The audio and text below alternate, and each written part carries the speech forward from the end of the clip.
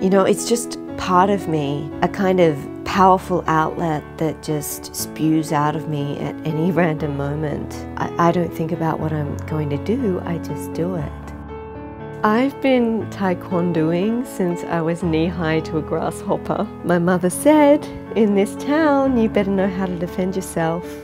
Oh, it's, it's amazing. Now I know.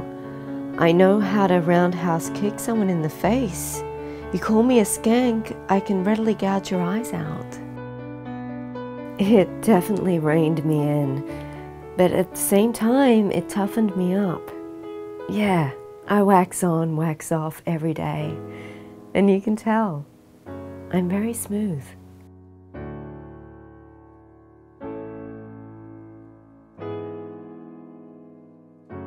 They say it's not just about yourself, but really it is. That power you're harnessing when you look that opponent in the eye and they're clearly shit scared.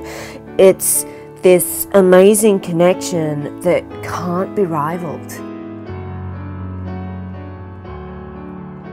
You have to feel it, and it's a gift. When the master's yelling at me, I can't cry. I have to push through it. It inspires me, and I'm proud to say I've mastered my craft.